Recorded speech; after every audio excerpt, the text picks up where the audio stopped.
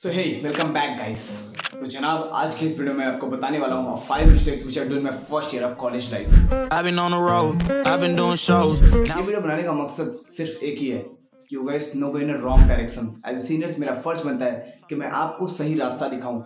जो गलतियाँ मैंने की है मैंने चाहता कि आप भी वही गलती करो यार। इसलिए मैं इस वीडियो को बना रहा हूँ और ये वीडियो मैंने कई दिनों से सोचा था बनाने का बट फाइनली आज जाके बना रहा हूँ। And no matter your I T and no matter of किसी भी प्राइवेट यूनिवर्सिटी से I request to all freshman student please watch this video till end because this video is really helpful for you so चलिए video को start करते हैं. Let's start the video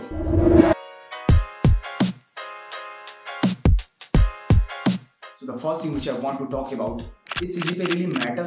देखो, सबसे पहले जब आप टेंथ और ट्वेल्थ में होते हो तो आपके पेरेंट्स आपके टीचर माइंड में ऐसा डाल देते हैं कि टेंथ क्लियर कर लो then you can fun twelfth clear कर लो देन यू कैन फन देखो this lines motivated wall a time but not a reality आप जब कॉलेज में आते हो तो आपको पता चलता है कि असली मेहनत क्या होती है, असली पढ़ाई क्या होती है। अब मैं अपनी बात करूँ, मैं अपना स्टोरी बताऊँ फ़र्स्ट ईयर का। तो जब मैं फ़र्स्ट ईयर में था तो I am not focusing in my see I am not focusing my class मैं एग्ज़ाम को लेकर ज़्यादा सीरियस नहीं होता था। जब एग्ज़ाम आते थे तो दो दिन पहले मैं पढ़ने बैठता था। And guess what my C G P six point five and after मैंने मीट माई सम सीनियर्स उन्होंने मुझे बताया कि यार सी जी पी सच में मैटर करता है आपके इंटरव्यू के लिए, आपकी जॉब के लिए। तो फिर मैंने ध्यान देना स्टार्ट कर दिया और फिर जब मैंने ध्यान देना स्टार्ट कर दिया तो मेरा C G P is like eight तक पहुँच गया। मैंने उसको मेंटेन करके रखा हर एक सेमेस्टर में। तो सी जी पी मैटर करता है। डोंट थिंक कि सेवन सी जी पी है तो फिर काम चल जाएगा। Try to maintain your CGPA like eight eight से ज़्यादा हो जाता है तो ये आपके लिए बहुत ही अच्छा है। लाइक like, आने वाले सेमेस्टरों में work hard it will worth it for you okay so बहुत लोगों को नहीं पता हुआ कि यार ये क्लब्स एंड ऑर्गेनाइजेशन होता क्या है।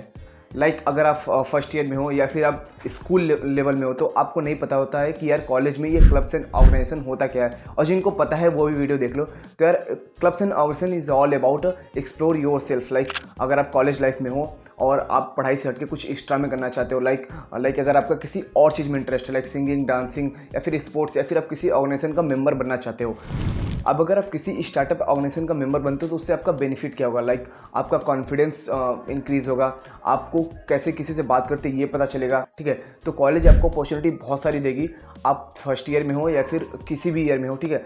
अब आपको ये सोचना है कि आप उस अपॉर्चुनिटी को कैसे एक्सप्लोर करें लाइक अपने आप को कैसे एक्सप्लोर करें पढ़ाई से हट के एक्स्ट्रा में क्या क्या करें? तो प्लीज़ मेक श्योर आप किसी कॉलेज में जा रहे हो। लाइक कोई भी कॉलेज यार, वो हर कॉलेज आपको अपॉर्चुनिटी देती है।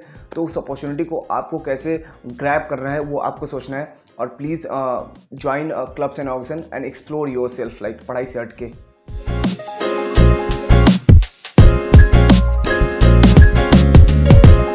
So the third thing is getting into relationship. This thing is very important in college life, of course. क्योंकि जब आप कॉलेज में आते हो तो आपके माइंड में बहुत सारी चीज़ें चलती रहती है और आप कहीं ना कहीं ऐसा सोचते हो जनाब कि यार काश एक गर्लफ्रेंड हो जिसके साथ हम कॉलेज में घूमें है ना? आता है। और कहीं ना कहीं ये वीडियो हमारी फैमिली हमारे पेरेंट्स देख रहे होंगे। बट ये ज़रूरी है आप लोग के लिए बताना कि क्या रिलेशन में आना आपके लिए सही रहेगा या फिर नहीं first year of college life में। And still to be honest I just fall in love in my first year of college life और सच कहूँ तो वो जो सफ़र था ना, वो बहुत ही गंदा वाला सफ़र था, ठीक है? And I think this relationship was not good relationship मेरे हिसाब से अच्छी नहीं है, क्योंकि ये कहीं ना कहीं आपके पढ़ाई के ऊपर इम्पैक्ट करती है। हालाँकि अगर आपका जो पार्टनर है वो सही है, समझता है तो फिर ठीक है। बट मेरे हिसाब से अगर आप फ़र्स्ट ईयर में तो सबसे पहले आप अपने कैरियर के ऊपर फोकस करो। चीज़ें नई नई देखो यार मतलब गर्लफ्रेंड तो बाद में बन जाएगी, पर जो नया चीज़ आ रहा है आपके कॉलेज में वो देखो, वो सीखो, ठीक है? क्योंकि मैंने अपने फ़र्स्ट ईयर में किसी के लिए like I waste my time I waste my energy like शुरू शुरू में मज़ा आता है, पर असली में मज़ा नहीं आता है। अब ये मेरा पर्सपेक्टिव था, आप कैसा सोच रहे हो, ये मुझे नहीं पता। लेकिन अगर आपको कोई पसंद आता है और आप रिलेशनशिप में आना चाहते हो तो यार, आप जब भी रिलेशनशिप में आओ ना तो अपने टाइम को देखते हुए लाइक अगर आप दिन में आधे घंटे दे रहे हो तो आधे घंटे ही दो लाइक अगर आपका पढ़ाई चल रहा है तो वो आपको डिस्टर्ब ना करे, ऐसा सोच के तभी आप रिलेशनशिप में आना। बाकी सबकी अपनी अपनी लाइफ होती है सबकी अपनी अपनी चॉइस होती है। मैंने अपना पर्सपेक्टिव बताया। अब आप कैसा सोच रहे हो ये आप जानो?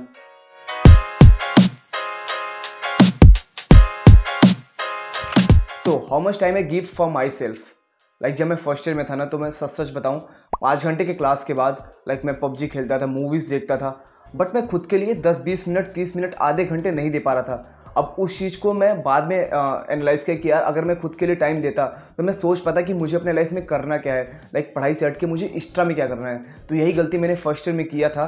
और ये गलती आपको नहीं करना है। यार, आपको फ़र्स्ट ईयर से अवेयर रहना है कि यार, पढ़ाई से हट के ऐसा नहीं कि पढ़ाई सब कुछ होता है। पढ़ाई से हट के अगर आप कुछ सीख रहे हो ना तो आपके लिए बहुत ही बेनिफिट होगा, ठीक है? तो खुद के लिए टाइम दो। अभी मैं थर्ड ईयर में आ गया हूँ तो मुझे पता चला है कि यार, मैं अपने लिए कितना टाइम दे पा रहा हूँ। खुद को खुद का लाइफ का एम क्या है, ठीक है? लाइफ में क्या करना है? आगे चल के मुझे। तो give some time for your self आप दूसरों को तो टाइम दे देते हो बट खुद को टाइम नहीं देते हो। अब ये बात तो इन्होंने एकदम सही बोला। दो साल हमारा तो ऑनलाइन में भी था और बाकी मुझे थर्ड ईयर में क्या पता चला कि यार मुझे अपने लाइफ में करना क्या चाहिए। लाइक अभी मैं प्रोफेशनल वीडियो एडिटर हूँ और मुझे ग्राफिक डिज़ाइनिंग आता है तो खुद के लिए थोड़ा टाइम सही बात है। खुद के लिए टाइम दो और कुछ नई चीज़ें सीखो। लाइक इन्होंने तो वीडियो एडिटिंग सीख लिया बट आप क्या कर रहे हो? आप ये सोचो कि अगर आप फ़र्स्ट ईयर से चीज़ें करना स्टार्ट कर देंगे तो ट्रस्ट में आप थर्ड ईयर में जाके खुद को बहुत ही मज़बूत समझोगे और आप, आपके मन में आप डीमोटिवेट नहीं होगी। तो please give some time for your self for your future तो द लास्ट थिंग फ्रेंडशिप तो जनाब कॉलेज में ना फ्रेंडशिप बहुत ही ज़्यादा ज़रूरी है। अब पहली बार में आते हो तो आपको पता नहीं होता है कि यार सामने वाला कैसा है, उसका नेचर कैसा है, क्योंकि आप दोनों एक दूसरे के लिए स्ट्रेंजर होते हो। तो आप बातें करो, लेकिन एक अच्छा फ्रेंड बनाना। मैं अपने फ्रेंड के बारे में बात करूँ तो यार मेरे जितने भी फ्रेंड है ना मैं, जो, मेरा जो फ़र्स्ट सेमेस्टर था ना, मैंने उसमें फ्रेंडशिप किसी से भी नहीं किया था। तो उसमें मेरा घटा हुआ था लाइक मेरा नंबर कम आया था। मुझे चीज़ें पता नहीं थी कि कैसे कैसे क्या करना है। बट मैं सेकेंड ईयर में आया तो मेरे दोस्त बने और काफ़ी अच्छे दोस्त बने। लाइक वो पढ़ाई में भी अच्छे हैं और उनके साथ कहीं घूमने जाओ, मस्ती करने जाओ तो वो सब सब कुछ में अच्छे हैं। तो आप ऐसा फ्रेंड्स बनाओ, ठीक है? फ़र्स्ट ईयर से ही। कि जो आपके लिए पढ़ाई में भी आ, साथ दे। आपका अगर आप कहीं घूमने चाह रहे हो कहीं ट्रिप मारना चाहते हो ठीक है? तो वो हर एक चीज़ में आपके साथ रहे ठीक है? आपको समझे। तो ऐसा फ्रेंड बनाओ यार और कॉलेज को एंजॉय करो। Make a good friend and enjoy your college life तो जनाब अब तो आपको समझ में आ ही गया होगा। पूरा वीडियो देख के आई होप समझ में आ गया होगा कि कौन कौन सी मैंने गलतियाँ की थी वो आपको दोबारा नहीं दोहराना है। फिर से अगर आप वही गलती दोहराते हो तो इसमें आपका लॉस होगा। तो please please don't do this जो मैंने आपको बताया है वही आप फॉलो करो ट्रस्ट मी आप बाद में मुझसे कहोगे कि यार भैया ने सही बोला था फिर आप दो साल बाद पछताओगे नहीं कि यार काश वो मैं कर लिया होता पहले ही ठीक है तो तब तक के लिए आज का वीडियो में पर एंड करते हैं मिलते हैं किसी और दिन किसी और वीडियो में तब तक के लिए bye bye take care see you soon Yo, yo, microphone check, make it a microphone check Give it a microphone, I make the make it a microphone dead Don't step to me newbie, I could truly be moody I could've played the fucking Grinch in the movie